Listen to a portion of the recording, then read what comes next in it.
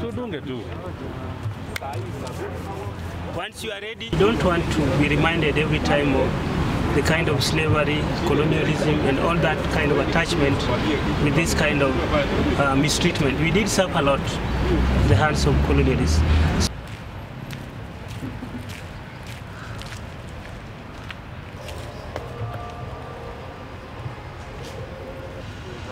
Hebu toe,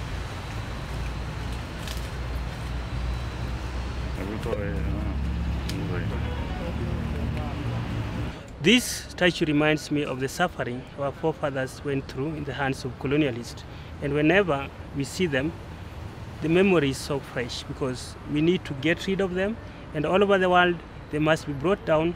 And all people who suffered due to colonialism need to also be saved all these kind of memories.